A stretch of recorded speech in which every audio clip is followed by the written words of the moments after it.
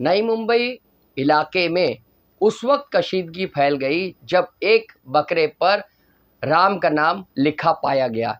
इस कुर्बानी के बकरे पर जब राम का नाम बजरंग दल और विश्व हिंदू परिषद ने देखा तो उन्होंने वावेला खड़ा किया। लेकिन बता दें आपको कि इसकी हकीकत कुछ दूसरी है।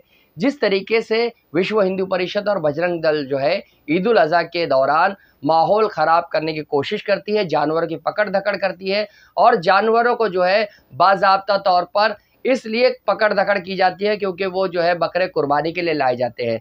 जिस तरीके से बता दें आपको कि नई मुंबई के सीबीडी बेलापुर में बाबा तौर पर कई सोसाइटी ऐसी है जहाँ कुर्बानी नहीं की जाती और कुर्बानी जो है मटन शॉप में की जाती है। तो ऐसे में जो है गुडलक मटन शॉप का जो व्यापारी था, जो कसाई था, मोहम्मद शफ़ी उसने कुर्बानी के लिए बकरे लाए थे और इन बकरों पर जो है कुर्बानी होनी थी।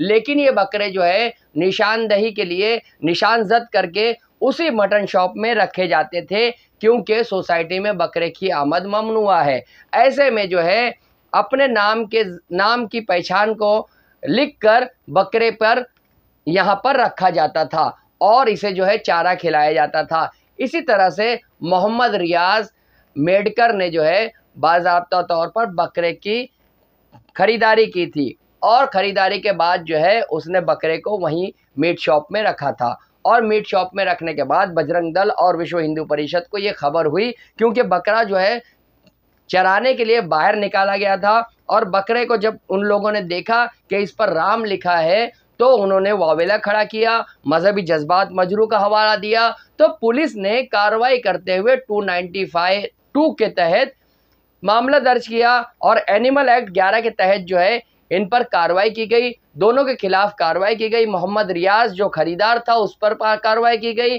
और बकरे के जो मालिक थे, कसाई जो लाते थे व्यापारी, उसके खिलाफ कार्रवाई की गई। बता दें आपको कि पुलिस से हमें यह इतला मिली है।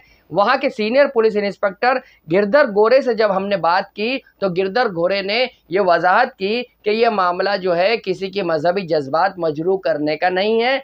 बता दें आपको कि जिस तरीके से जो है विश्व हिंदू परिषद और बजरंग दल ने मामलों को जो है गुमराह कन अंदाज में पेश किया, जबकि जो बकरों का कसाई था, उसे ये मालूम ही नहीं कि बकरे के सीने पर या बकरे के, बकरे की जो चमड़ी है, उस पर जो है राम का नाम लिखा है। जिस तरीके से बकरा लिया जाता है और बकरा जो है किसी मटन शॉप में रखा जाता है तो उस पर जो है निशानी लगाई जाती है या फिर अपना नाम का कुछ हर्फ जो है वो लिखा जाता है। तो इसी तरह से मोहम्मद रियाज मेडकर ने जो है अपना नाम लिखा था उसमें।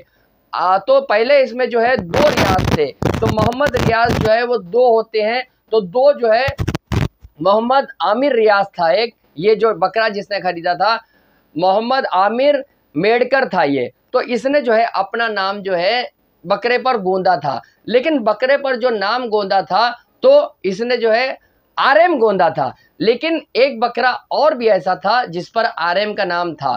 तो ऐसे में जो है दोनों बकरे यकसा ना हो और दोनों बकरे जो है एक दूसरे के, एक दूसरे से मेल ना खाए, इसलिए जो है उसके बाद जो है एक पीठ पर जो है बकरे के, उस पर आर आर एम के बाद जो है एक पर आर ए एम लिखा गया, यानी रियाज आमिर मेटकर। तो ऐसे में जो है, मामला ये पैदा हुआ कि ये भगवान जो है, राम का नाम बकरे पर लिखा गया है और इसे जो है, कुर्बानी, इस, इसकी कुर्बानी दी जाएगी। ये बात सरासर जो है, झूठी थी और इसके बाद जो है, इलाके में कशीदगी फैलने की कोशिश हो गई थी और फिर जो है, पुलिस ने मामले को संभाला और पुलिस ने मामला दर्ज कर लिया, क्योंकि शिकायत जो थी, वो विश्व हिंदू परिषद और बजरंग दल की थी। अगर पुलिस शिकायत वक्त पर नहीं लेती तो हालात नई मुंबई के ख़राब हो सकते थे। इसलिए पुलिस ने मौके की नज़ाकत को समझते हुए शिकायत ले ली और तफ्तीश की। लेकिन तफ्तीश में यह मामला सामने आया कि मोहम्मद शफ़ी जो है, वो अनपढ़ है। उसे जो है, इंग्लिश, हिंदी या कोई भी ज़बान नहीं आती है और उसने जो है, लाइलमी में ऐसा किया है। और जो है, एक पीठ पर जो, बकरे की पीठ पर जिस पर राम लिखा है तो दूसरी तरफ़ जो है, आर लिखा हुआ है। बता दें आपको कि जिस तरीके से विश्व हिंदू परिषद बजरंग दल ईद उल अजहा के दौरान जो है कुर्बानी के मामले में जो है बाबा तौर पर नज्म नज खराब करने की कोशिश करती है, वही मामला जो है नई मुंबई में हुआ और पुलिस ने इसे संभाल लिया। जिस तरीके से पुलिस ने पूरी कार्रवाई की है, इससे ये साबित होता है कि पुलिस ने जो है, बजरंग दल के वावेले के बाद जो है केस दर्ज किया।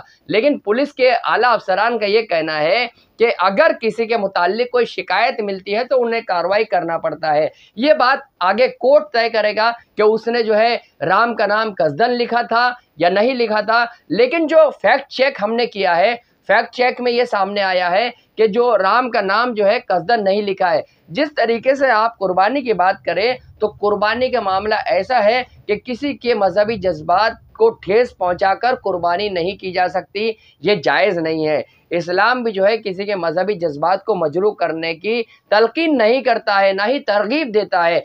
ऐसे में विश्व हिंदू परिषद और बजरंग दल जिस तरीके से गुमराह कन प्रोपेगेंडे चलाते हैं, इस पर भी पाबंदी लगाने की कहीं ना कहीं ज़रूरत है, क्योंकि मुल्क में जो है अमन अमान कायम है। मुंबई से लेकर नई मुंबई और महाराष्ट्र में जो है अमन अमान कायम है। लेकिन ऐसे में इस तरह की हरकत से नुक्स अमन का खतरा है। ऐसे सरपसंद अनासर पर नज़र रखने की भी ज़रूरत है और जो इस तरह की लाइलमी में काम करते हैं, इस पर भी जो है नज़र रखने की ज़रूरत है, क्योंकि महाराष्ट्र का लॉ एंड ऑर्डर इंतहाई ज़रूरी है। जहाँ के इंसाफ की खास रिपोर्ट।